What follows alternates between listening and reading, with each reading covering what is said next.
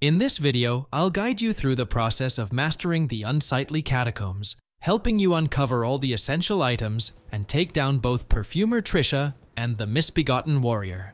Don't forget to like, comment, and subscribe for more content on Elden Ring and other exciting games.